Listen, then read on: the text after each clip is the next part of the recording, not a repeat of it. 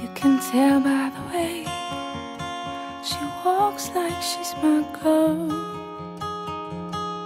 Well, I get to like sort of do two things. Feel kind of like a superhero. Lose a. You can see in her eyes that no Hey everyone, I'm one Monica Raymund. I'm back here in my hometown in St. Petersburg, Florida. She's my girl,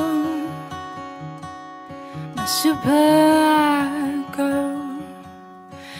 And then she say, And I talked to him a little bit. It's I was like, hey, okay. do we have female firefighters coming on board? on the way, If it was me, I'm a super What if we move laterally and I, instead of being paramedic, I want to be a firefighter as well? Cry.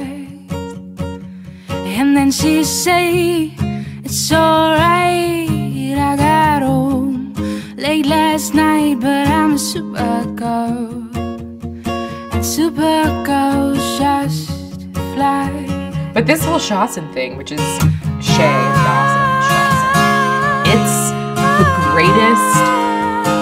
It's the greatest relationship I've ever had the pleasure of playing on TV. And then she say, It's alright. I got home late last night,